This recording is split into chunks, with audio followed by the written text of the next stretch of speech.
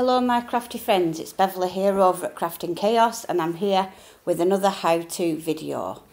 Um, so on my recent YouTube channel you saw a file where I actually showed you how to assemble the Magic Eye shutter card and it featured this daisy flower here.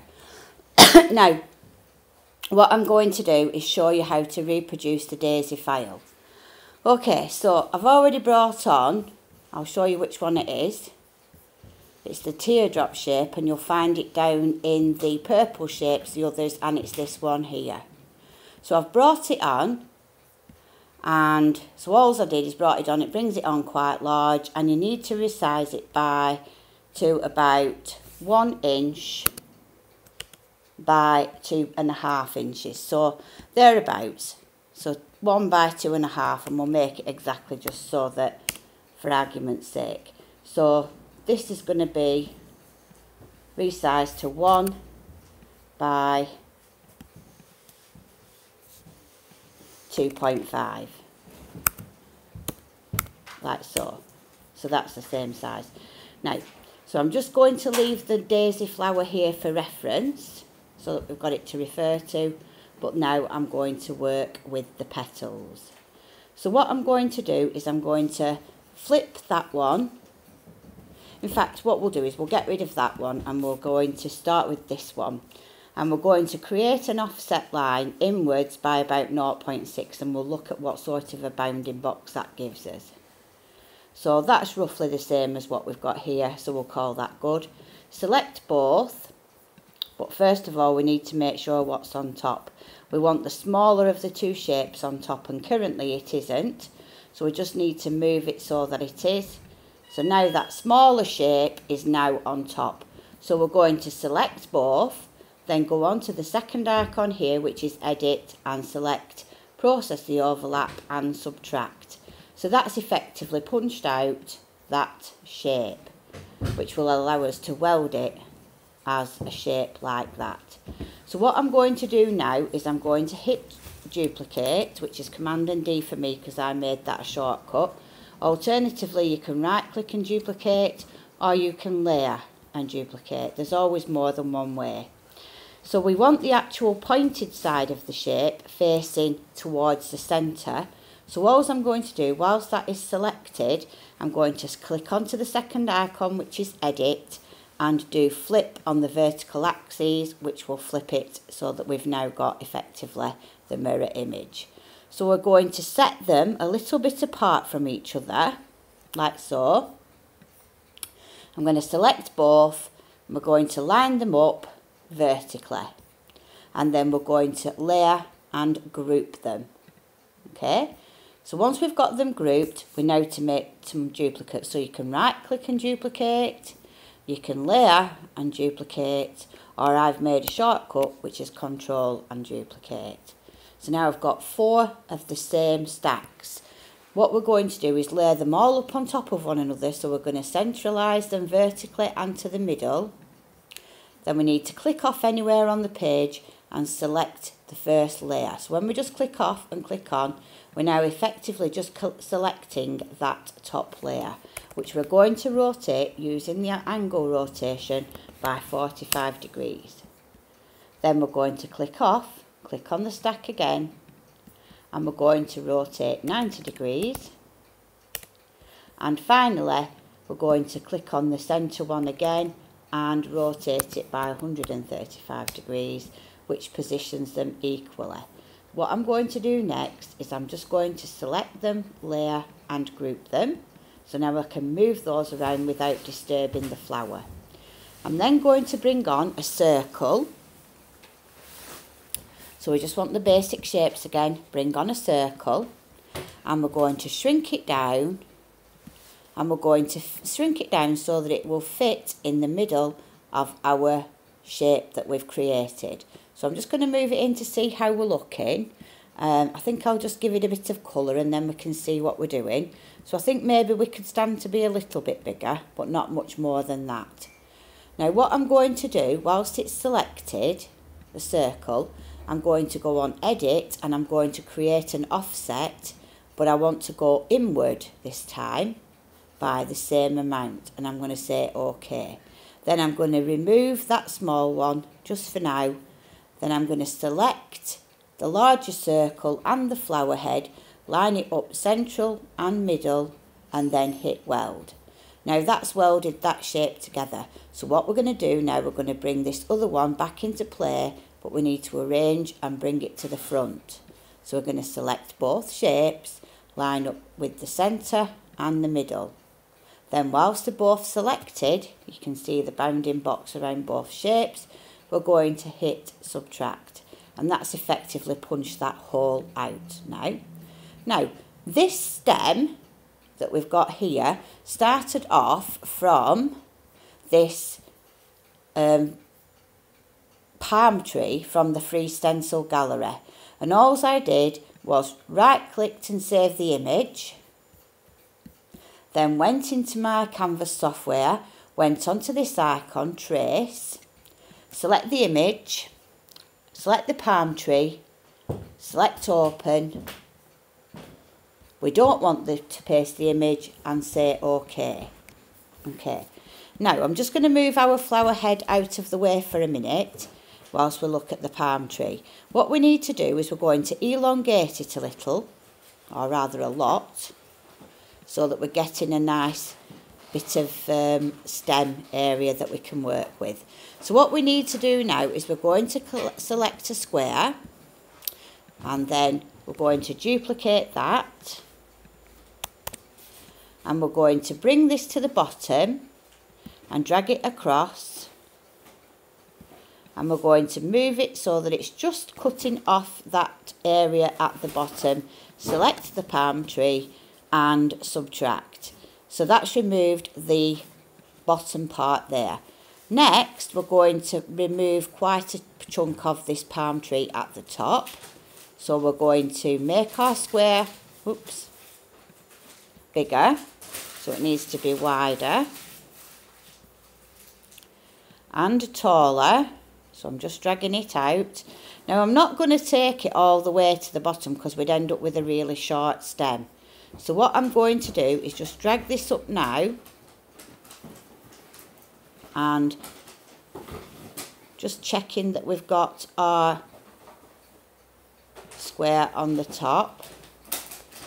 Then we can select both and hit subtract. And if that happens it just means that it's misled me and let me believe that that one is at the back and it isn't. So I'm going to send it to the back. Then we'll do that operation again and subtract. So now we're left with this part. So again we're just going to use our square and we're just going to use the square to trim down this tree if you will. So I'm just going to rotate it slightly so that we can get most of it and then select the rest of the tree and subtract. And then finally one last time with the square and I found this was the easiest way to do it rather than try to do it freehand unless you're really good with the node editing which often people find a little bit um, frustrating. It can be quite difficult so it's much easier to do this subtract method. And if you get left with a bit like that just bring on another square. So bring on another square when it comes on and just use it to delete. I'm going to make a duplicate of that so I can get this bit straight as well. We need to move that out of the way. Select those two. And subtract. And then I'm just going to use this square. Just shrink it down. Make sure it's at the top so arrange and bring to the front. And then I'm just going to get rid of this little nubbin here if you will. So I'm just going to zoom in so I can see what I'm doing.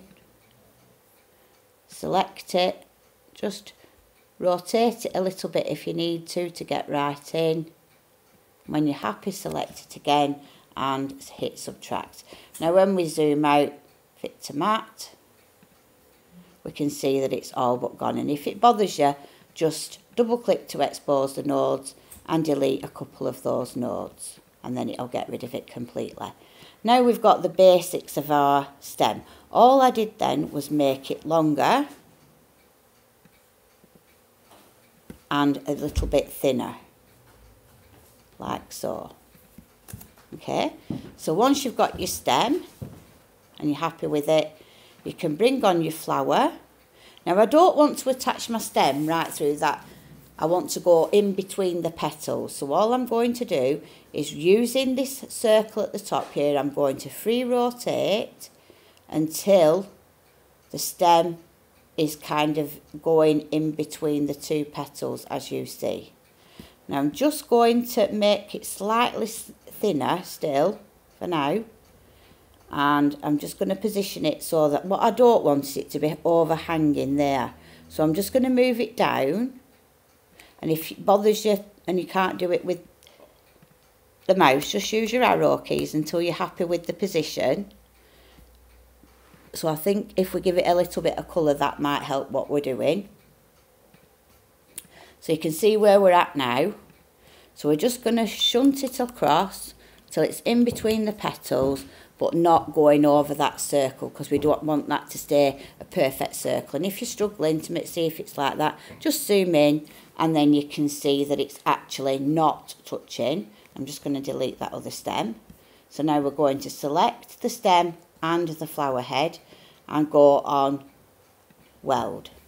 So that's now welded the stem to the flower, display, zoom, fit to mat, and that's where we're up to. So the last thing we need to do now is make our leaves. So what I'm going to do is I'm going on basic shapes again and this time we're looking for that sort of leaf shape, this one. So we're going to drag it on, get rid of the shape gallery and we're going to resize it to make it a little bit thinner and also a little bit less tall. Reduce the height like so and then I'm going to create an offset and I want it inward and say OK, like so. And then we've got that one at the top, so we select both and subtract. So this is the start of our leaf and we need two, so I'll duplicate. And then I'm going to move them into position and you can position them anywhere you wish on your stem. So I'm going to position one towards the bottom, so it needs to be overlapping with the stem, but not coming out through the other side. Then I'm just going to rotate this one Again, we're going to move it up to the stem and you can always adjust your angle just by using that little circle which is your free rotation. Line it up, then select the flower and both leaves and hit weld. Now you've created that flower embellishment like you saw me use on my card. Now remember you can make it smaller so I did mine about 5.75 inches when I did mine. And I did undo because I had it on maintain aspect ratio and when I did it I've just realised it wasn't checked. So 5.75 and that would give you the same size as the embellishment that what I had.